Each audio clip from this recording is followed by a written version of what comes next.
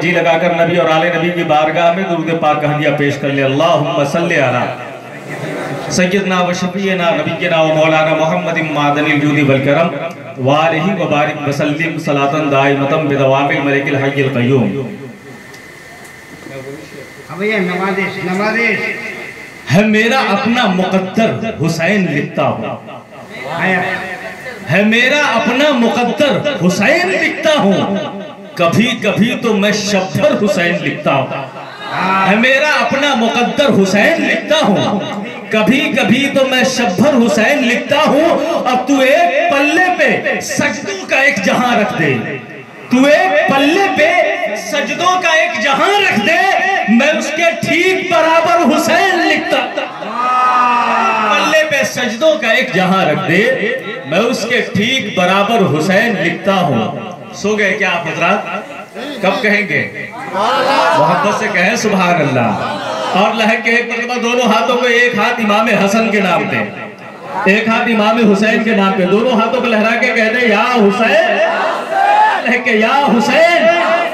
تو ایک پلے پہ سجدوں کا ایک جہاں رکھ دے، میں اس کے ٹھیک برابر حسین لکھتا ہوں۔ اور کبھی جو کرتا ہوں، گلہائے کربلا کا شمار۔ کبھی جو کرتا ہوں گلہائے کربلا کا شمار، تو میں ادب سے بہتر حسین لکھتا ہوں۔ کبھی جو کرتا ہوں گلہائے کربلا کا شمار، تو میں ادب سے بہتر حسین لکھتا ہوں۔ کبھی تو صبر حسینی کا بھی لحاظ رہے۔ استاذ الشورا، حضرت محترم حلیم حاضق صاحب ممبر نور پہ جلوہ بار ہے میں ان کی بھی توجہ چاہوں گا، کبھی تو صبر حسینی کا بھی لحاظ رہے۔ کبھی تو صبر حسینی کا بھی لحاظ رہے۔ اے چشم گریا حیا کر حسین لکھتا۔ کبھی تو صبر حسینی کا بھی لحاظ رہے۔ اے چشم گریا حیا کر حسین لکھتا ہوں۔ اور میری نظر میں صحابہ کا احترام بھی ہے۔ میری نظر میں صحابہ کا احترام بھی ہے۔ ہمیشہ خوب سنبھل کر حسین لکھتا ہوں۔ اور ہجوم غم میں اے تابانی یشک الفت سے، میں اپنی پلکوں پہ اکثر حسین لکھتا ہوں۔ حضرات میرا سنانا مقصد نہیں تھا، میں اس شاعر کو آپ کے حوالے کر رہا ہوں جو شہر شہر کلکتہ کی نمائندگی نہ کہ صرف ہندوستان میں، بلکہ پوری دنیا میں کر رہے ہیں۔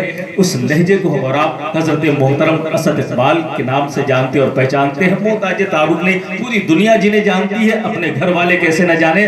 لہٰذا سننا ہے تو یہ آخری وقت ہے۔ اس آخری وقت میں آپ اتنا بولے اللہ کا ذکر کرے، حسین کا ذکر کرے کہ یہ لمحے ہمارے لیے بخشش کے لمحے بن جائے ایک مرتبہ جی لگا کر اللہ کی کبریائی اور رسول کی رسالت کا دم بھر لیا جائے۔ نعرہ تکبیر۔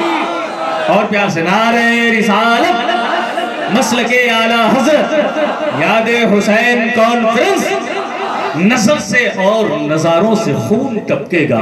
حضرت کا پیغام چار مصرے نظر سے اور نظاروں سے خون ٹپکے گا۔ اشارے سمجھو، اشاروں سے خون ٹپکے گا۔ اگر حسین کے سجدے کو بھول جاؤ گے تو مسجدوں کے مناروں سے خون ٹپکے گا اللہ۔ بہت اچھے سراج بھائی بہت اچھے آپ اللہ اللہ۔ نعرہ تکبیر نعرہ رسالت۔ میرا پڑھنا ضروری ہے۔ جی جی جی۔